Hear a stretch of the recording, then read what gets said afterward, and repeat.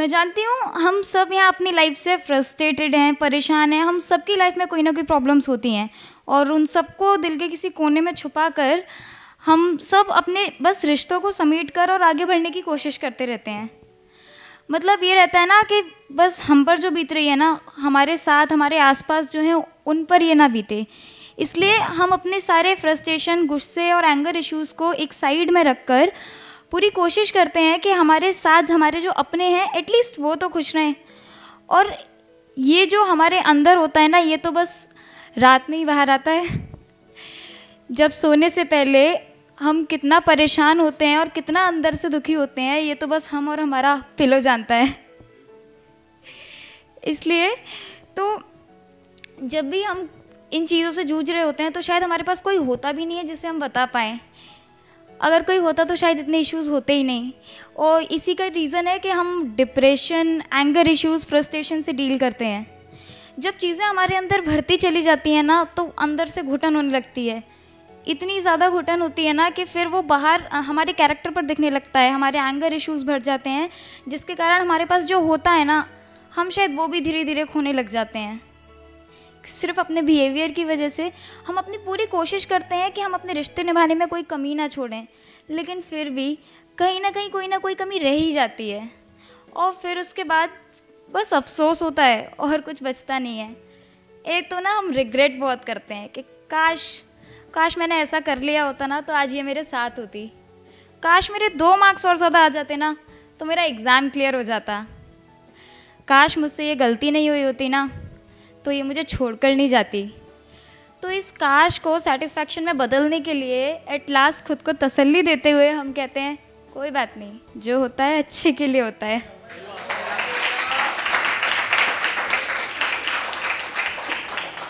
हम सब अपने आप में इतना उलझे हुए हैं, कोई अपने टॉक्सिक रिलेशनशिप से परेशान है, कोई अपने टॉक्सिक पेरेंट्स से परेशान है, कोई जनरेशन गैप की मिसअंडरस्टैंडिंग से डील कर रहा है तो कोई कुछ और।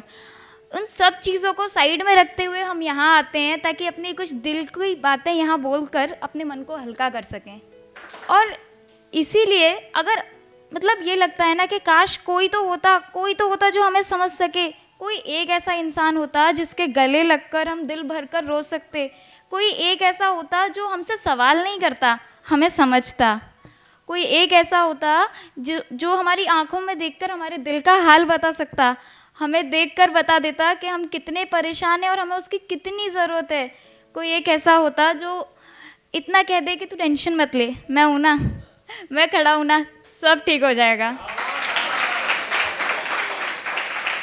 कोई ऐसा कोई ऐसा होता जिसकी गोद में सिर रखकर हम दुनिया का सबसे बड़ा सुकून पा सकते हैं और वो अगर एक बार सिर पर हाथ फेर देना तो बस ये लगता कि दुनिया की सारी खुशी, दुनिया की सारी दौलत एक तरफ़ और ये खुशी, ये सुकून एक तरफ़। अगर आपके पास कोई एक ऐसा इंसान है ना, जिससे आप सब शेयर कर सकते हो, जो आपको सबसे अच्छे से समझता है, आपके लिए कोई कमी नहीं होने देता कभी। खुद के बारे में नहीं सोचता, लेकिन खुद से पहले आपको रखता है। तो उसको ज़ोर से पकड़ कर रखना, उसको खोना मत कभी, उसको कहीं जाने मत देना। उसको इतना प्यार करना ना कि वो हमेशा आपके पास ही रहे। क्योंकि जब ये इंसान हमारे पास नहीं होता है ना तो हम टूट कर बिखर जाते हैं। हम बाहर कुछ कह नहीं पाते हैं, ढंग से छुपा नहीं पाते हैं, और सब खुद तो बिखरे ही होते हैं और बाकी सब चीज़ें भी धीरे धीरे बिखरने लग जाती हैं। फिर जो होता है ना, वो होता है depression suicidal thoughts anxiety panic attacks ये सब। अब हम टीनेजर्स की बात कर लेते हैं। हमारे साथ पेरेंट्स के साथ इश्यूज़ बहुत होते हैं। है ना? पेरेंट्स हमें नहीं समझते, हम पेरेंट्स को नहीं समझ पाते। मैं ये नहीं कहती कि पेरेंट्स अपनी जगह गलत हैं। पेरेंट्स सही हैं, पर एक बार, बस एक बार उन्हें खुद को हमारी जगह रख कर सोचना चाहिए।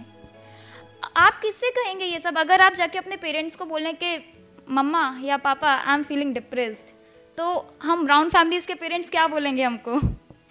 हमारे ब्राउन फैमिली के पेरेंट्स यही बोलते हैं हमको, ये डिप्रेशन वगैरह कुछ नहीं होता, ये नाटक नौटंकी है तुम्हारी, तुमसे बस कोई कुछ कह ना दे। सुनना नहीं चाहते हो तुम बस। किस चीज़ की कमी कर रहे हैं? कौन से कष्ट पड़ रहे हैं तुम पर? और यही पेरेंट्स होते हैं जिनकी आँखों में इतनी एक्सपेक्टेशंस होती है ना हमारे लिए कैरियर का इतना प्रेशर होता है हमारे ऊपर कि बस रिश्तेदारों के फ़ोन आते हैं कि रिज़ल्ट आया, बेटे का एग्ज़ाम निकला कि नहीं निकला? ये कुछ कर भी पाएगा लाइफ में कि नहीं? ऐसा ही रहेगा। हर सुबह जब कोचिंग या कॉलेज जाते टाइम अपने पेरेंट्स को देखते हैं तो हमारे माँ बाप की आँखों में एक वो एक्सपेक्टेशन होती है कि ये कुछ करके दिखाएगा। और अगर नहीं हुआ तो उस टाइम पे कौन हमारे लिए खड़ा होगा जब हम नहीं कर पाए? यही चीज़ें हमें इतना अंदर तक ले डूबती है ना कि हमें अंदर तक झिझोर कर रख देती हैं। और फिर एक पॉइंट ऐसा आता है ना कि बस लगता है, अब नहीं होगा यार, बहुत हो गया। हर इंसान की लिमिट होती है ना यार। और कितना? कुछ एंड आएगा इसका कि नहीं?